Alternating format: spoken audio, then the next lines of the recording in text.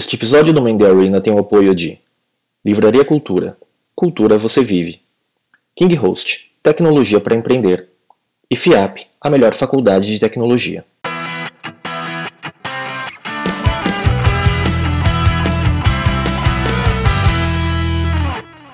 Olá, esse é o Man in the Arena, um videocast sobre empreendedorismo e cultura digital.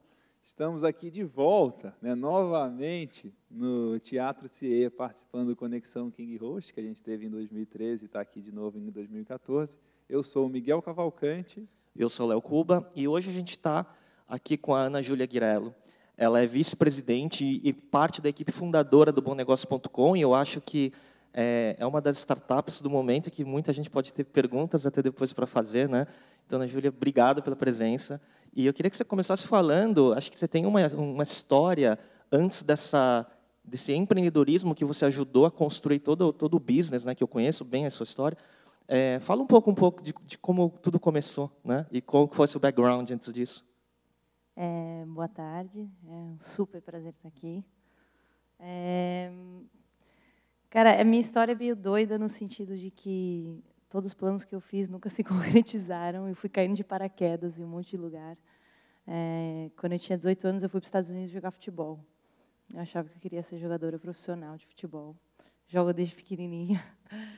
E cheguei lá, joguei na Carolina do Norte, no Tennessee, e estava numa cidadezinha bem pequenininha, e eu falei, meu Deus, eu acho que não é isso que eu quero, né? E todo mundo, pô, mas está aí, tem bolsa, situação perfeita. E eu tinha um incômodo muito grande, tinha 19 anos, e eu não sei por que eu quis ir para Nova York. Nunca tinha ido, não tinha grana para ir, porque eu estava com uma bolsa lá. E aí me deu uma doida, eu transferi, transferi a faculdade lá para Nova York e fui com 500 dólares no bolso.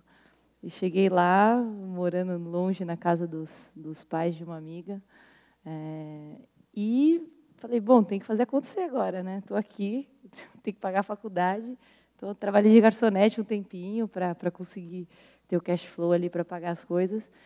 E hum, peguei um monte de aula de design, um semestre. Falei, alguma coisa tem que me especializar para eu ver se eu gosto, né? Porque na teoria a gente não sabe nada que a gente gosta, só na prática. Então, e gostei e, e tava, comecei a mexer com Photoshop, Illustrator e tudo mais. É, e aí eu falei assim, ah, vou vou tentar achar um emprego em algum lugar, sabe, o que é que seja. Entrei no Craigslist, que é o classificados lá dos Estados Unidos, né? E fui numa entrevista, era num e-commerce, uma startup de e-commerce de que vendia diamante online, só nos Estados Unidos, né? Você compra diamante online pelo correio, 5 mil dólares. Nem eu acreditei. Fui para lá e fui na entrevista, tinham cinco pessoas e eles precisavam de um designer, né? E eu levei um portfólio que eu montei sei lá, cinco dias, inventei umas coisas lá com os meus skills de Photoshop que eu tinha na época. E os caras me chamaram. Eu comecei e, gente, fazia banner. Fazia banner atrás de banner, atrás de banner. Aí comecei para os landing pages, né? É, comecei a ter mais contato com o produto e aí comecei a entrar nesse mundo e gostei demais. Não tinha ideia que eu ia gostar disso. Nunca tinha pensado assim conscientemente quero trabalhar com web, né? E, e aí eu fiquei lá, fiquei lá até eu me formar, eu ia para a faculdade. Tudo que eu faço assim vem da vida, não vem da faculdade. Era uma formação muito mais de comunicação geral.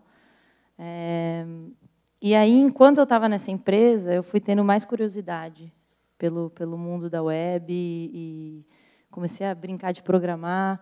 E isso era o quê? 2005, 2006 em Nova York. E o pessoal tinha uns amigos fotógrafos, ele, ah, precisa de um site de portfólio, você faz? Eu falava, faço. E me ferrava fim de semana tentando fazer HTML, uns negócios assim. Mas foi isso que foi me movendo, e, e, e eu ia sempre atrás das minhas curiosidades. Né? E com isso eu fui também desenvolvendo skills bem específicos de produto para a web. Então, é, desde você pegar uma ideia, transformar ela né, numa interface, validar com o usuário, até o que você mede né, para você ter certeza que você está tendo sucesso no que na sua hipótese, né? E, e aí eu estava nesse nesse meio, estava trabalhando nessa empresa, né, tinha sei lá 23 anos e comecei a freelar mais e mais e mais, e me formei e falei assim, ah, vou abrir minha empresa. Nem sabia o que que eu queria que essa empresa fizesse. eu me chamava de agência, mas eu não era nada disso, acho que era uma, mais uma consultoria, assim. Então, eu, eu tinha alguns clientes que eu fazia consultoria, né, para desde a estratégia do produto, é, e eu comecei a também criar produtos para certos nichos. Então, criei uma plataforma lá que, que facilitava a vida dos fotógrafos, para eles mudarem o portfólio rapidinho. E eu descobri bem rápido que o truque é você não fazer o que você acredita e o que é mirabolante na sua cabeça, mas você pegar o seu customer, né, o seu usuário, ver o que ele precisa e o que é de mais valor e começar por aí, simples. Então, a plataforma para os fotógrafos era exatamente isso. Né? E, e aí eu falei, pô, tá legal, né? E era um, um, um nicho que eu gostava muito pessoalmente e comecei a desenvolver os clientes.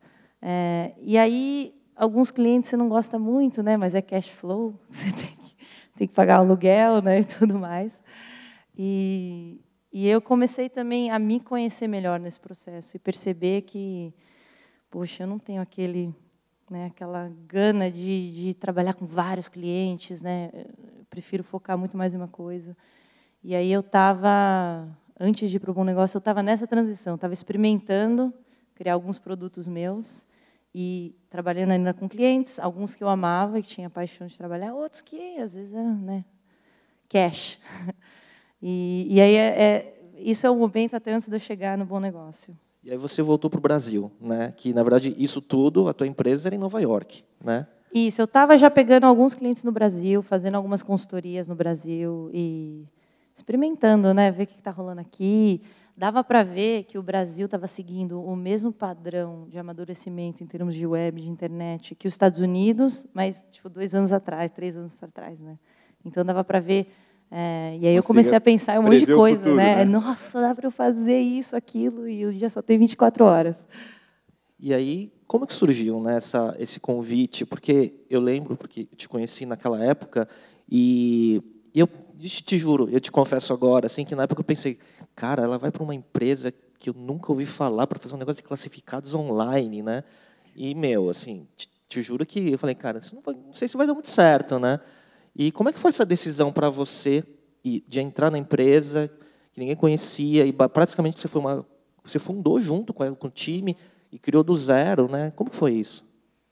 É, eu estava numa dessas viagens para o Brasil fazer uma consultoria no Rio de Janeiro e eu já falei para vocês que eu amo futebol, eu tinha ido para a Copa da África do Sul e um cara é, comprou dois ingressos meus que eu tinha lá para o jogo do Brasil esse era o cara que estava ajudando a Schibsted, que é a empresa, o Bom Negócio faz parte dessa empresa é, global norueguesa, que é a Schibsted. Esse cara estava ajudando a Schibsted a entrar no Brasil. Né? Eles estavam com essa ideia de, de, de trazer o um modelo de classificados deles é, para o Brasil e criar uma marca do zero com um time local. E eu estava no Rio e esse cara falou assim, você tem que conhecer o Andres, que é o CEO do grupo, e hum, e eu estava bem em Nova York, estava feliz, né? Falei, não, mas tudo bem, não estou pensando em voltar tal. Aí calhou, eu estava no Rio, quando estava no Rio, a gente sentou para conversar.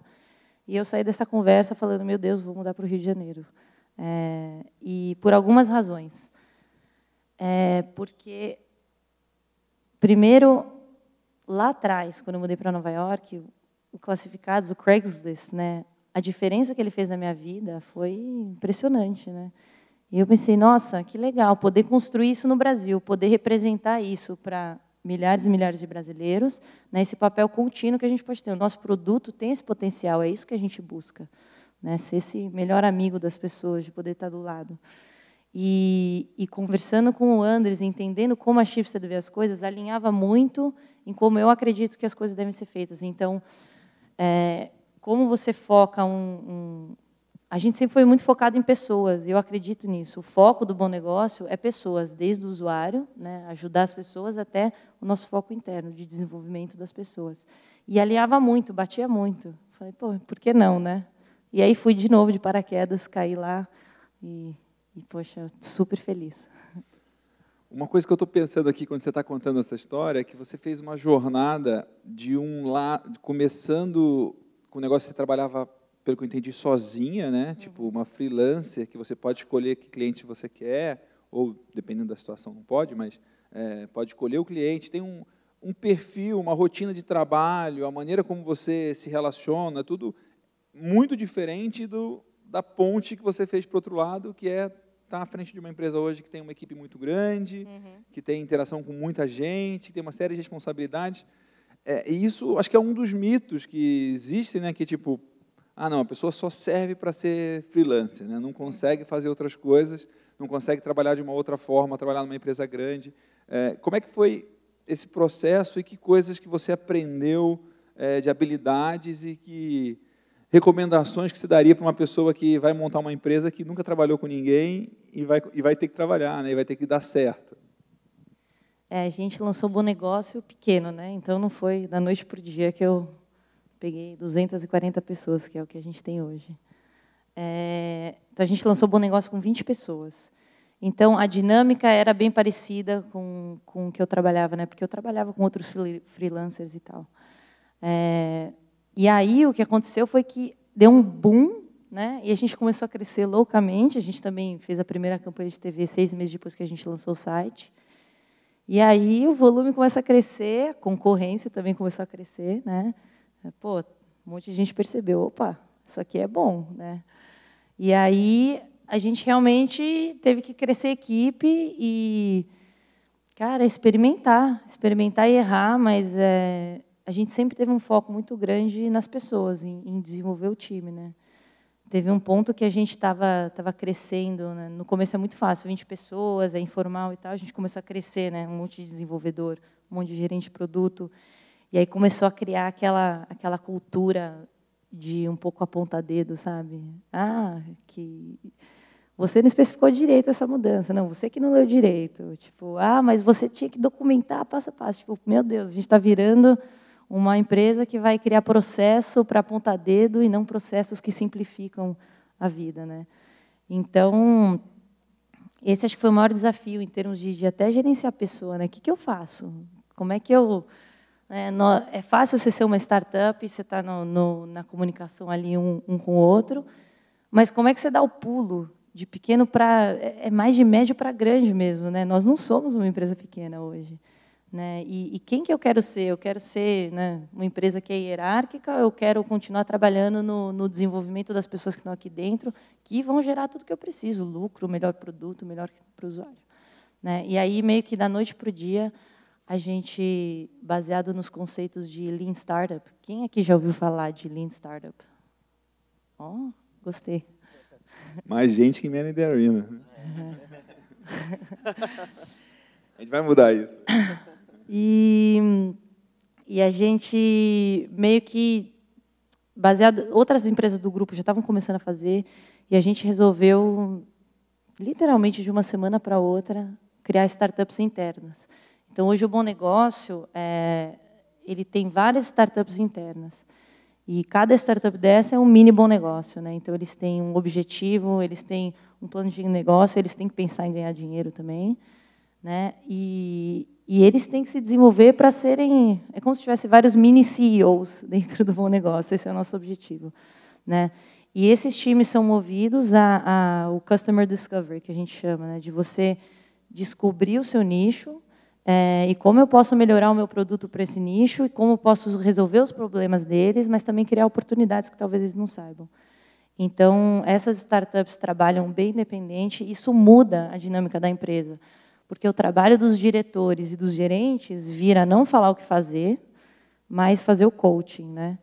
Então, os diretores e os gerentes do bom negócio são coaches, assim, ensinar a pescar, não dar o peixe, né? E, e esses, esses é, cabeças desses times estavam não estavam acostumados a gerenciar. A maioria deles são, são gerentes de primeira viagem. Então foi assim um caos total. É, no começo a gente produzia assim, fez assim, e aí começou a começou a voltar. Então é tipo começamos com uma startup, crescemos e criamos startups dentro da que era a startup, né? Agora Ana, entrando, eu acho que muita gente deve ter várias curiosidades em relação ao, ao negócio, né? E tem umas perguntas que eu até falei, posso perguntar? Você falou, manda, né? Uhum. Então, duas, duas coisas. Primeiro, assim, né?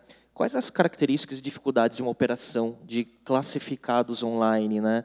Porque é, e aí tem vários pontos em relação a isso, né? A gente estava falando no outro momento, está falando sobre a questão de que todos os anúncios têm uma curadoria e uma moderação pré, pós, tem questões antifraude. Queria que você falasse um pouco para o pessoal entender tudo que tem por trás de uma operação de classificados online. É, o classificados é ultra focado em conteúdo, né? Porque no fim do dia o cara que entrou lá para comprar alguma coisa tem que achar o que ele quer e o cara que quer vender tem que vender, né? É baseado nesse, nessa balança. E, e para isso o conteúdo é que faz a liga, né? Então a gente tem realmente um cuidado extremo com o conteúdo. É, temos a equipe que revisa os anúncios manualmente para ter certeza de que está tudo ok, não entrar coisa que não deve. Né? O brasileiro é meio malandrinho às vezes. É, e, e, uma equipe de fraude também, a gente sabe que, que segurança é importantíssimo, né? ainda mais quando você está, o seu papel é de unir o comprador com o vendedor. É, e paralelo a isso, então essa parte de conteúdo, atendimento, está próximo dos clientes. Né? A gente tem uma política de atendimento ao cliente de responder todos os e-mails em até uma hora. E a gente, acima de tudo, quer estar próximo dos nossos usuários. Então, uma vez uma mulher perguntou como é que cuidava das orquídeas dela. Ela mandou um e-mail para o nosso atendimento. E aí a gente foi pesquisar e mandou para ela, porque a gente acha que sim, esse é o nosso papel também. Se as pessoas se acham próximas da gente, que elas podem perguntar isso, a gente está aí para ajudar. Né? Então tem todo esse lado e o lado de você é, você tem que estar tá movendo junto com o amadurecimento da cultura, né? Então a gente hoje em dia todo mundo está muito mais habituado a comprar e vender no bom negócio. É, e por multiplataformas. Né? Esse crescimento veio, veio acontecendo e bem rapidamente. Você tem uma noção, um ano atrás, o nosso tráfego mobile era 12%. Hoje já está em 45%. E a gente acha que até o final do ano vira. Vai ter mais gente acessando por aplicativos, né, por aparelhos móveis, do que pela web. E aí é um desafio, porque, beleza, você começou com um produto né, da web, começou a desenvolver várias coisas. Aí você lançou um aplicativo, que é mais básico Aí o cara do, da equipe de mobile, que é uma dessas startups internas, é o cara que está sempre correndo atrás dos outros, né? Então, como é que você faz isso e como é que você mantém isso, né? Você tem que desenvolver. Nosso negócio não é um negócio de plataforma, é um negócio de conteúdo. Então, tem que ser a mesma coisa, a mesma experiência em todos. Então, definitivamente é um desafio, assim. E, e a gente está agora nessa virada. É super interessante, super legal também. Incrível esse dado, né, de 45% hoje, no final do ano virar, é, puxa, surpreendente, né? É, você pode outra coisa que a gente gosta de perguntar também, assim, é a gente vê hoje, né, o bom negócio grande, um sucesso e tal, mas conta um pouco das dificuldades lá do começo, coisas que vocês é, achavam que ia ser de um jeito e foi diferente, né? Tipo, porque o, o plano nunca é, né, tipo uma trajetória retinha e tal né, tranquila em direção ao sucesso. Sempre tem altos e baixos e, e surpresas é, pelo caminho. Né? O que, que você pode contar para aí? Tem uma... É interessante o... a mudança na malandragem. Eu acho que é uma coisa interessante. Nossa, isso é legal. Tem, tem histórias, né?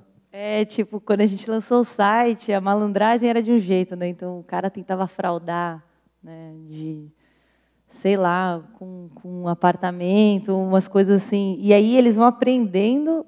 A, é muito doido, porque eles vão aprendendo a tentar burlar suas regras e você tem que ir aprendendo a pegar eles mais e mais e mais, né? Então esse é um ponto que definitivamente assim continua mudando, a gente continua se surpreendendo é, das coisas que acontecem assim. O pessoal tenta de tudo, inserir 30 dos mesmos anúncios, sabe? É... E não tem aquela história do tipo nigeriano fazendo anúncio para depositar em conta X, não tem essas coisas? É, o pessoal tenta malandragem, a gente pesca, a gente pesca tudo é, antes de chegar no usuário, graças a Deus. E, mas tem, tem desde fraude, da, o cara tenta é, pedir para mandar dinheiro para Nigéria, o outro que, que... O mesmo que mandou e-mail, né? É, exatamente. É o cara, né? E, mas tem e, e malandragem assim não, não é nem não estou nem falando de fraude que tipo a gente nem é um problema para gente mesmo é o cara que quer tipo, postar a mesma coisa né dez vezes e, e a gente fala pô mas já né, já funciona você não precisa então isso é um ponto interessante é, de desafio mesmo esse crescimento rápido acho que é o, é o mais assim foi o mais difícil para a gente porque também quando você faz uma mudança que nem essa que a gente fez que é né, você muda a dinâmica inteira da organização. Não é um, um lance que você resolve em dois meses. É um lance longo. A gente está um, mês, um ano e meio e agora a gente está ficando maduro. Né?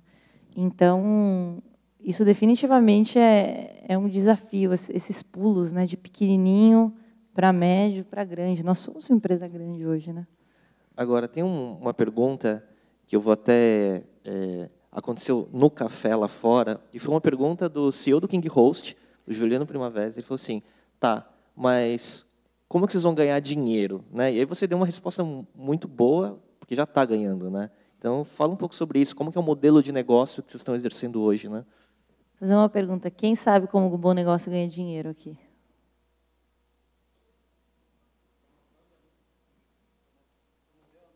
Boa. Promover anúncio, ele falou. Esse já, já usou, já vendeu, já comprou. Ah, quem aqui já vendeu no Bom Negócio? Oba! Vou ter que fazer minha conta lá, meu. É. Então, é realmente uma pergunta que a gente é, recebe bastante, a gente recebe até no, no, no, atendimento ao cliente, uns e-mails de umas pessoas, mas calma aí, como é que eu ganho dinheiro? Como é que vocês ganham dinheiro né, com isso aí? Então, é, na verdade, para a gente é claro, é um modelo que não é muito claro para muitas pessoas, mas tem três frontes que você consegue monetizar. Né? Nunca foi o nosso foco principal, e não é. O nosso foco principal é nas pessoas, né, no usuário, e isso vem como um, um byproduct né, do, do, do que a gente está fazendo. Mas você tem a monetização de privates, que a gente chama, né, das pessoas que, que não são aí PJs e empresas e usam um bom negócio como carro-chefe que somos nós, né? Quer vender a bicicleta, vai lá e anuncia, ah, essa mesa aqui está me incomodando, anuncia e vende. Né? E aí você tem o, o, profissional, que é o cara do imobiliário, o cara que usa o bom negócio como carro-chefe dele. Né? Então, é uma outra persona dentro do nosso site. É um, o cara tem um outro mindset, ele quer outras coisas. Então, para esse cara, você pode oferecer é, facilidades para ele e cobrar por isso. Ele não vai se importar em pagar, não tem nenhum problema vai agregar valor ao negócio dele e vai agregar para a gente também. Né? Do cara que, que quer vender a bicicleta, do, como, acho que talvez como nós, né? você cobra oferecendo os premium products que ele falou. Então, você dá um destaque para o seu anúncio, volta o anúncio para o topo. Né? No bom negócio, sem ser o anúncio, é por ordem cronológica, ele vai descendo. Tem gente que tem preguiça de tirar e colocar de novo. Aí eles que seria pagam, de graça. É. Você pode tirar, espera sair e volta o anúncio. E aí eles pagam, o anúncio volta para o topo. Você pode também dar um destaque na galeria, que é um fica rotacionando lá em cima. Então, são pequenas cobranças, né? O topo custa R$ 13,99, por exemplo, que num volume grande eles geram uma receita legal, tá? E aí você tem a área de publicidade. É, hoje o Bom Negócio tem mensalmente mais de 650 milhões de page views é, por mês. É um volume bem considerável. E isso é valor para muitas marcas. Né? O pessoal sabe que está todo mundo visitando um bom negócio, eles querem botar a marca deles lá. Então, a gente tem um time comercial que também trabalha nisso. É, o mais importante é que a gente começou, e eu acho que isso é até uma pergunta quando você empreende. Né? Primeiro, é legal você criar atração. Quando você começa a monetizar? Né? Qual é a hora certa? E, e o ideal é sempre fazer aos pouquinhos. Ninguém nem percebeu quando a gente começou a monetizar o bom negócio porque a gente começou a vender o topo é, para algumas categorias, aí você vai abrindo, então você vai validando, experimentando de pouquinho em pouquinho.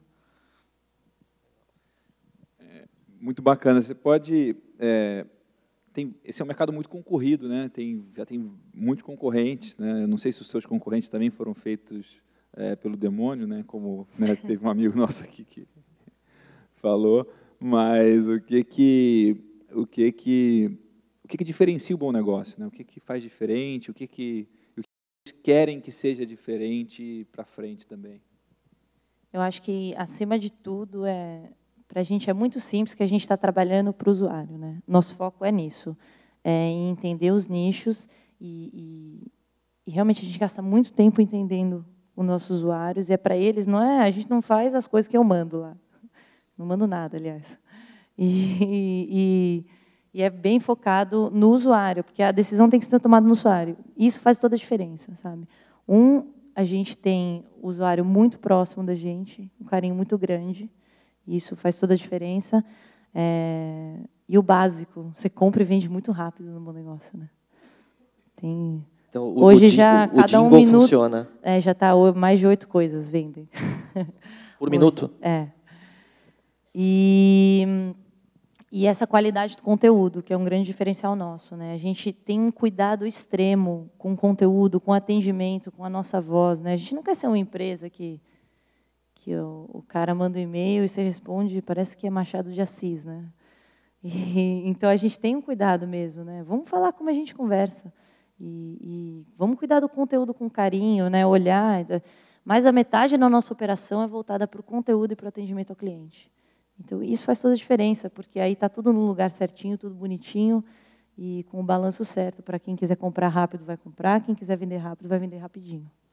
E, Ana, assim, como é que... É, acho que muito do sucesso recente, assim, do, de uma grande curva de crescimento, está relacionado à excelente campanha né, das cabeças né, que está no ar, né, com as personalidades e tal, né? E, e algumas dessas campanhas foram super polêmicas, desde lá no começo com, com o Padre Washington, né? E mais recentemente com Tiririca, em, em função de campanha eleitoral, né, ele ser candidato, né? E fala um pouco de como foi a história dessa do planejamento dessa campanha, você também olhando do lado de dentro o impacto no crescimento, né, do, da, do, do número de usuários e tudo mais, né? É, muita gente fala, atribui o nosso crescimento do, do último ano às campanhas, e sim, parte é isso, mas a gente fez sempre muito conjunto. Então, o online, a gente tem um, um time de marketing online também muito forte, que trabalhou muito conjunto é, com a campanha.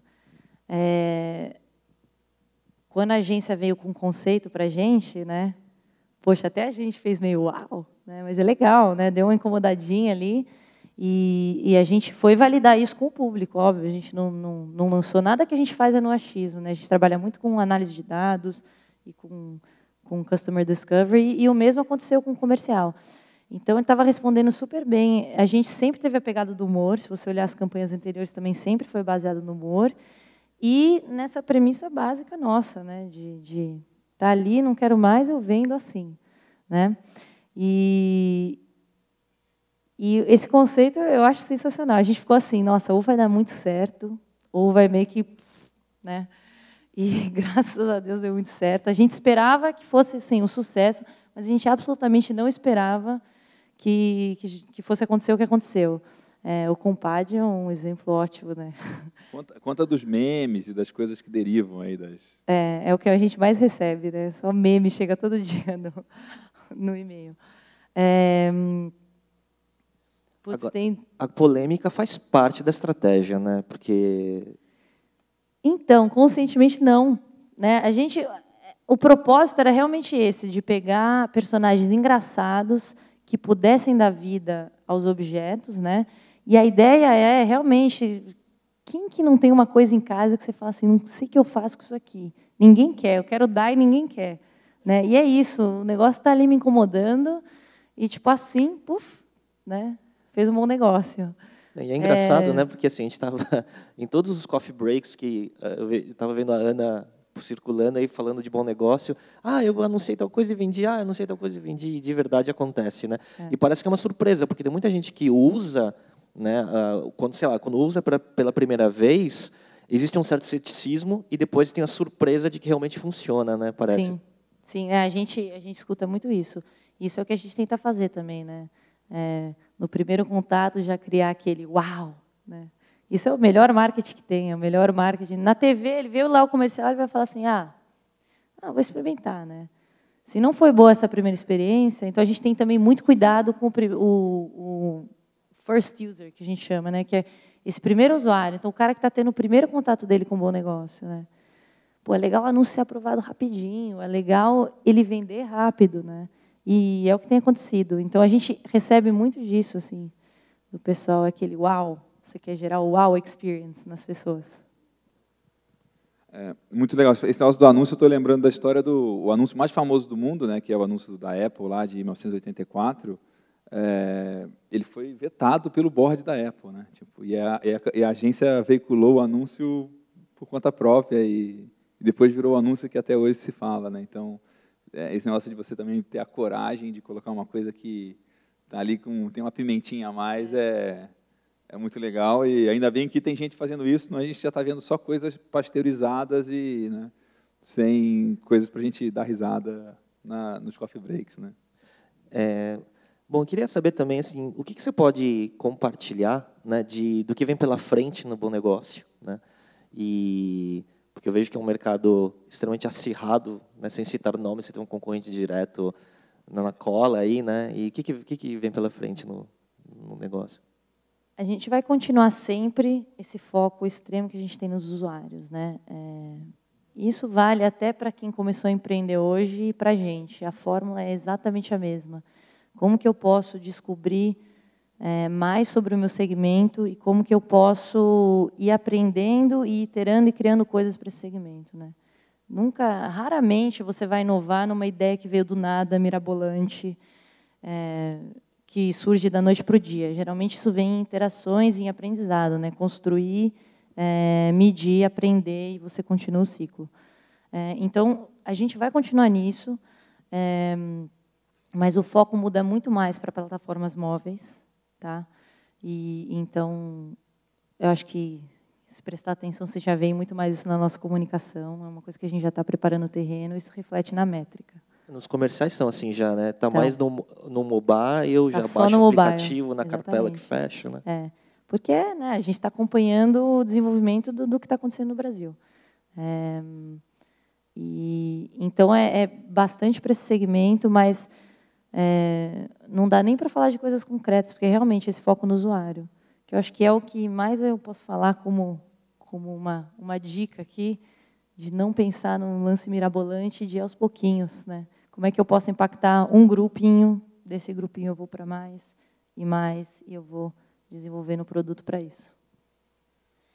Bom, a gente está chegando no final do, do, do, programa, do episódio, da entrevista, da conversa com você. E uma das coisas, assim, primeiro, que eu acho que é o legal de um evento, é o legal de ter essa oportunidade de, de conversar com você, assim, que é, eu, eu, eu, gosto de dizer que a melhor coisa de você ir num evento ou de você assistir uma, uma entrevista muito legal, você está perto de uma pessoa fantástica, uma pessoa extraordinária, uma pessoa que está fazendo coisas muito bacanas. E uma das coisas que a gente gosta de perguntar, bem direto ao ponto, porque aqui tem empreendedores e quem está assistindo no vídeo também tem, é, são empreendedores, três coisas, né? Tipo, uma é que livro que você recomenda para empreendedores lerem e buscarem aplicar?